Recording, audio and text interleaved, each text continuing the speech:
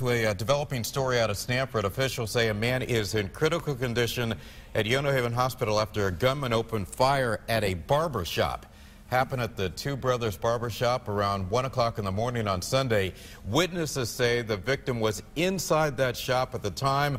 Police are still trying to ID the suspect.